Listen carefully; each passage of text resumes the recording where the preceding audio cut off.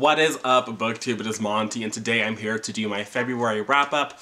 And I'm also going to include my March TBR, because I just have um, a handful of things to talk about, and as I was conceptualizing my videos for the week, it just made more sense for them to be in one video, so that's what I'm doing. We're just gonna live life on the edge, I guess.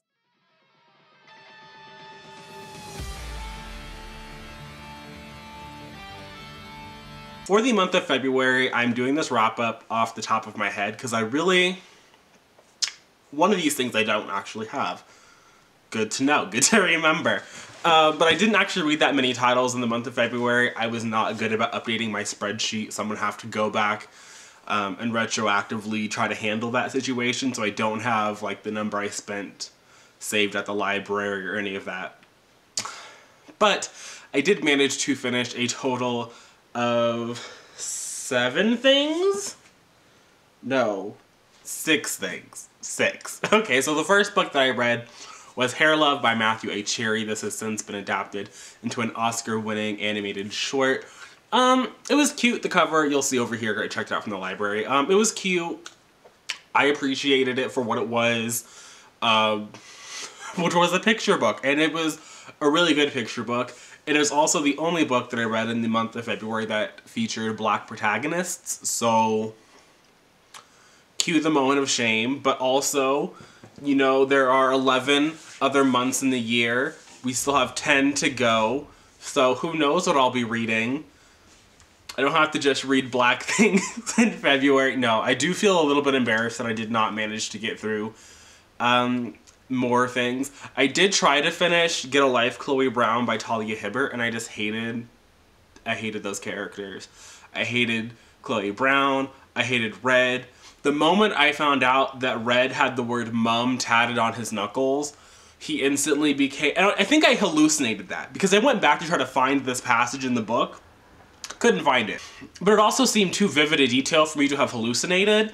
Um, but once I that was in my brain, I could no longer imagine at any point in the novel uh, Red and, and, and Chloe getting it on. Because who wants to get fingered by someone who has the word mum on their knuckles? Like, that's just, I'm good. I, I, didn't, I didn't need it, but I wish Miss Hibbert all the best. I did like her writing style. Um, as of now, I don't have plans to pick up. I think it's like Take a Hint. Dani Brown is the second one. I don't have plans to pick that up. I might pick up work for it, which was her, I think it's her only male male work. Um, I don't know. I'm on the fence about it. I do think she's a talented writer. It just, I don't think this one was in the cards for me. As for the things that I actively finished, let's get to those. So the first one was Yes, No, Maybe So by Aisha Saeed and Becky Albertalli. I have a full review of this one, so I'll leave it linked up in the cards.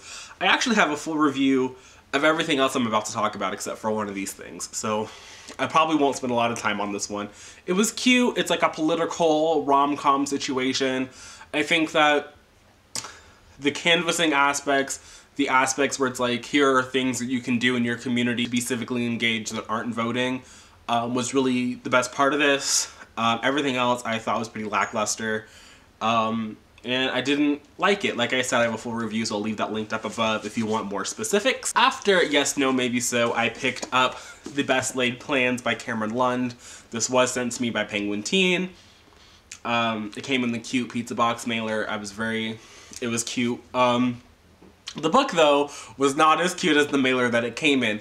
I ultimately wound up giving this 4 out of 5 stars because I did enjoy Cameron Lund's writing, but this follows a our protagonist Keely who's freshly turned 18. It's her senior year of high school. We follow her in like the last semester of that. And she starts to develop this crush on a 20-year-old college junior who is incredibly emotionally manipulative, low-key sexually manipulative, like it was really gross to read about. Did not appreciate it. Um, alternatively, she looks to her best friend to sort of help her lose her virginity um, in order to continue on in pursuing this relationship with this college junior guy. And he was arguably like a better friend. I really enjoyed their friendship dynamic. But the moments where Cameron Lund tried to make him an alternative romantic interest didn't quite work for me. And there's a third act reveal regarding that best friend that just sort of ruined any sort of potential romance. Didn't like it. So personally it wasn't for me, but I do think it's cute. This is out on April 7th. Put in your hold to the library, check it out for yourself, see what you think. After that, I read what was arguably probably my most anticipated read of the spring summer time. Although I think technically it's still classified as a winter release. I don't think it's a technically a spring release. I don't know. I, I Docile by K.M. Szpara. The review of this one is up. It's 47 minutes long. Grab your snacks, go watch it, go enjoy it. I give a very detailed account of what exactly bothered me and why exactly those things bothered me. Um, this one really put me through it. 12 out of 10 do not want to have to go like litigate everything so I will leave my link to the Goodreads review down below just in case you don't want to sit through an hour long video right now add it to your watch later whatever you need to do. You can watch it on two times speed maybe. I don't know. Don't usually do that myself. But this is allegedly set in a sci-fi near future. I say it's a near future even though it's like 100 years in the future. It's weird. Um I don't think it's all that sci-fi.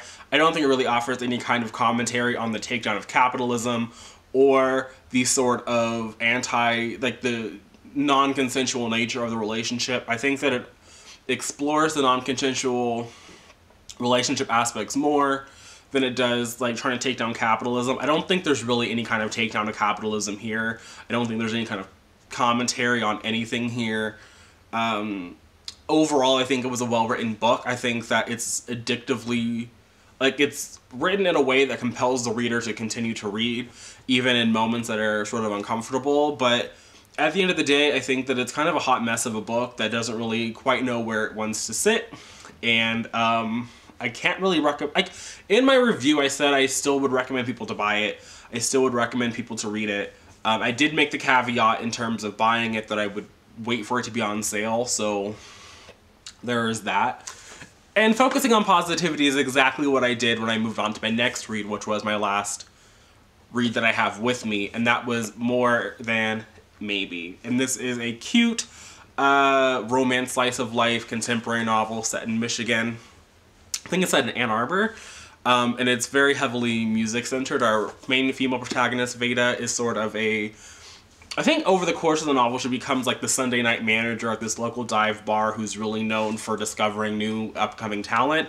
And our male lead, Luke Greenlee, is the son of a former English punk rock legend, superstar man type, um, who is running a podcast with his brother Cullen out of the bar that Vada works at. Um, so the two of them have sort of always known one each other in like the periphery, and then one day at school they decide they well, not really they decide, but they just have, well, I guess Luke does decide really. Can I can I can I figure out the plot? Um, they have a senior project type situation and they're going to work together on it, and so they have to actually communicate now, and so we get to see them and they're budding romance with one another. Uh, it was really cute. I'm not the biggest music fan. There's a lot of references in this. I don't think it's key for you to understand them. I feel like if you do understand them, then there's like a deeper level that you'll get the book on. But for me, it was cute. I gave it four to five stars. I think that it was probably the healthiest relationship that I read all month long. um, I didn't realize I'd read so many sort of like romance centered things, but I guess I did. Um, and I think this is probably the healthiest depiction of a romance that I read this month, and I really like it. This is out in May. Again, this was also sent to me by Wednesday Books. So shout out to Wednesday Books. I really appreciated it. It was definitely what I needed after reading Docile. I needed something that was light and fun, and this was both of those things.